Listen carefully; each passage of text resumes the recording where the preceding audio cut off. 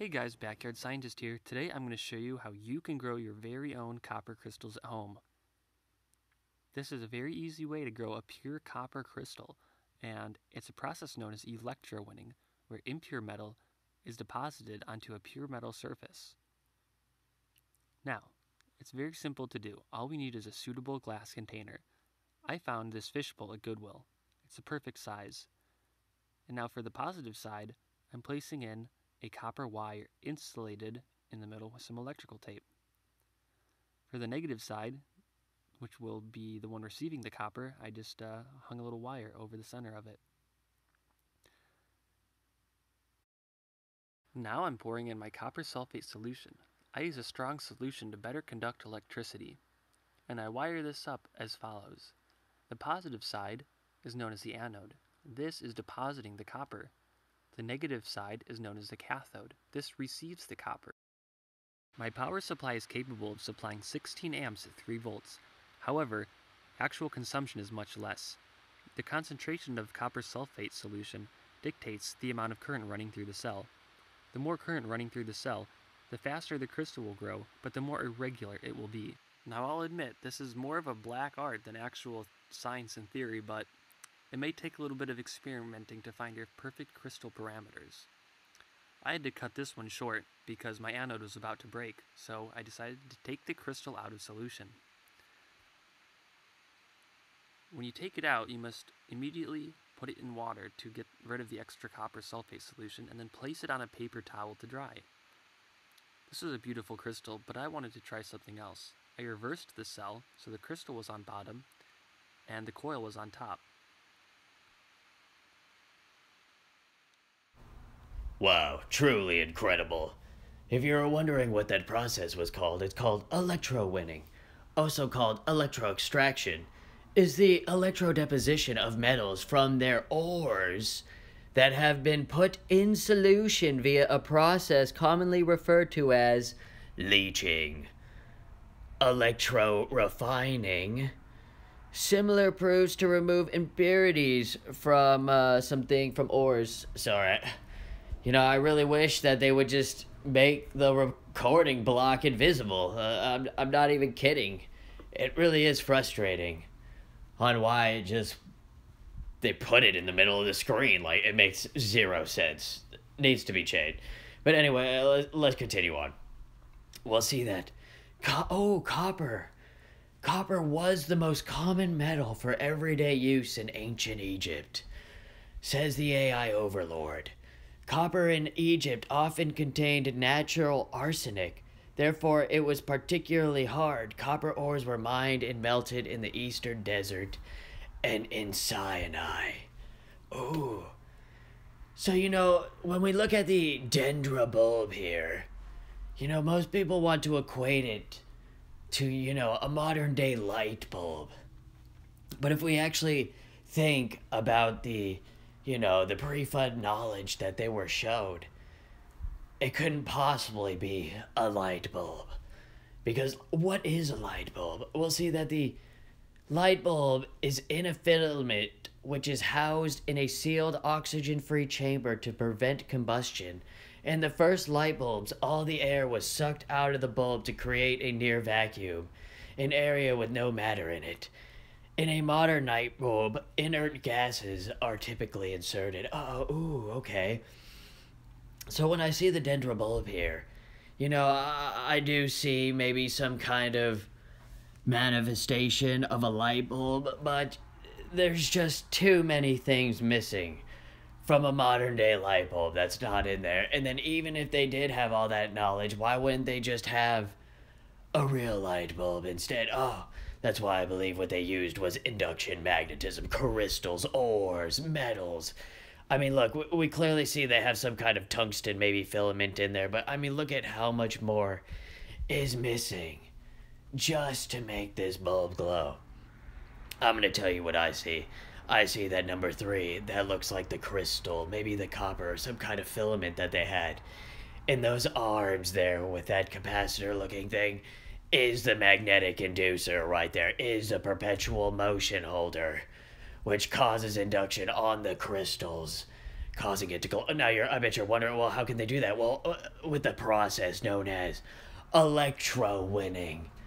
I mean, if we look at one of these pictures when you Google electrowinning, you can clearly see a more advanced process than the video you saw at the beginning of this video. And then when we go over to ancient Egypt, we see kind of the same setup right here. We, we notice that there is a main jar with some wires going into it with, you know, four other jars, well, clearly marked separate. So, you know, clearly you have two separations right there because one of them is marked and the other one is not marked. I mean, clearly shows some kind of flow of chemical process. Something is happening here. Looks like any other modern battery experiment. On but what if that is the secret? And then you know what else is strange right? There's always a female priestess, or it's always a female who's guarding the, the secrets when we look at oh, why is that? Well, I'm gonna tell you why that is right now. I believe that the females all held the secrets, the key back then. Why? Because the free female priestesses, you know, they're nothing more than just scientists or the equivalent today. You know, women would make the best keepers of this ancient knowledge and this ancient secrets. And I bet you're wondering, well, why would the why would they use the women? why not use the men or whatever? Well, that's the polluted mindset of modern day thinking. We must we must enter a time capsule and transport our memory back to ancient Egypt. So let's think about this. If I had the pre-flood knowledge, I still need to teach it. You know, but who can you trust? Who can I spread it? Because, you know, I want to advance the society because I want to be comfortable living there. You know, you're creating your own paradise by using these primitives, but you're only uh, elevating a certain few, just like today let's see, women back then, they literally had no power, you know, versus warrior men in those days. So, you know, women, oh, they can't use the knowledge against you because, you know, they're not strong enough. While you use men as the enforcers, as always. I mean, think about it. This is how secret societies are born. Because you're impregnating all the priest class women. You're creating your own trusted circle on this is the secrets of it. That's why you always see the women. That's why they always they're lying to us today. Unbelievable. Let's look at some more ancient hidden knowledge. In the Pyramid Code, a documentary produced by Dr. Carmen Boulter, professor at the University of Calgary, a documentary well worth investigation. It reveals several insights, including the advanced nature of the psychoacoustic and biorhythmic effects of these ancient Sanskrit monuments that he claims have all been falsely attributed to the Egyptian civilization. Part of his testimony is as follows. It must be noted that due to Abdel's intimate knowledge of the Giza Plateau, he should undoubtedly be perceived as a reliable source of avenues for alternative esoteric research. He claims that in 1936, while the Sphinx was still covered up to the neck in sand, there were tunnels he personally explored claiming that past the Abu Ghorab, a crystal altar was found, containing a round disc in the middle of four radial lines, a symbol of Hotep, Hotep meaning peace and food. This round disc was a lid on a shaft, about 180 feet deep to the level of the ocean, where he claims there is still running water, and there is still, quote, much more to be found. Uh oh more water. Very true. So let's think about this. In our modern day light bulb, we fill the light bulb with an inert gas such as argon. So what if back then when they used those methods, what if they used water? What if they just filled this bulb with water and through induction of magnetism and whatever crystal or copper strand they used? It caused it to glow. Unbelievable. So we'll see that magnetism water crystal or some metal, you can create an ancient piezoelectric light. Unbelievable. Think about that. It would make so much sense. Think about the environment that they live in. They have all the materials, they have everything necessary. Unbelievably perfect environment for whoever shows up with the ancient knowledge and can create it. You just need the work. It's just, you know, our modern day today, same thing back then. You know, nothing ever changes.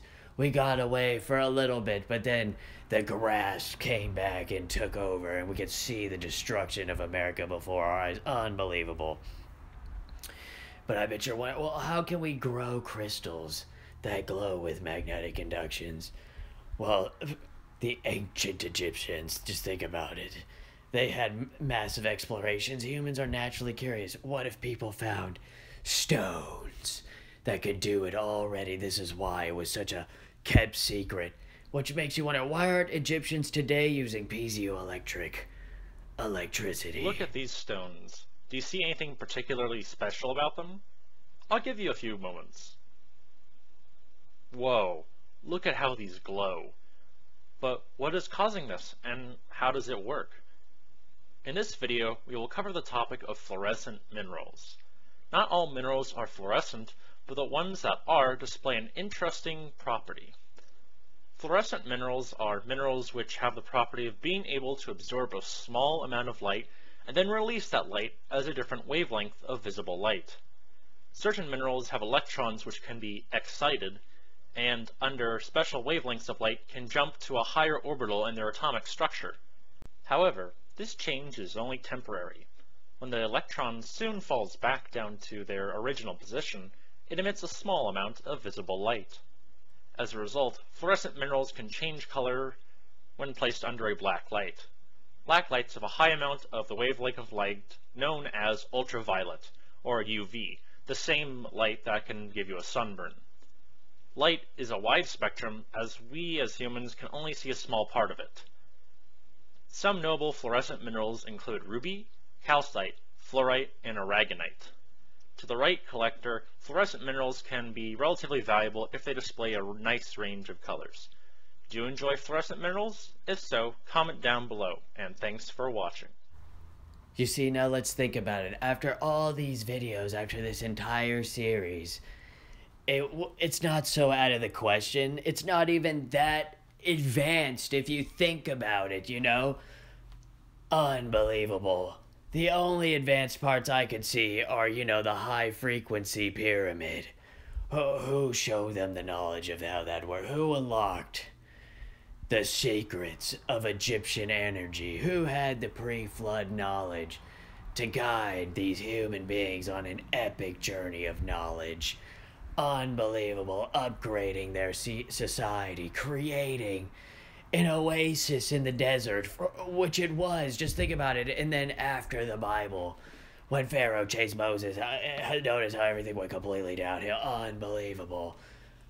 The key to Egyptian energy, uh, the high priestess class, the, the person with the pre flood knowledge, creating his own secret society, keeping the knowledge with his own private circle, thus creating priest illuminated class guarding the secrets, easily controlled and manipulated. Oh, I hope you've learned maybe something about ancient Egypt and how, you know, with just a little common sense, a little bit of knowledge, a little bit of research, you know, the ancient Egyptians don't really seem that mysterious at all.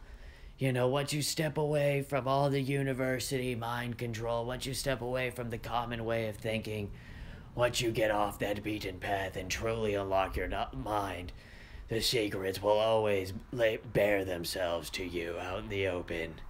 Unbelievable. Through God's will, everything is possible as long as you just think about it. Unbelievable.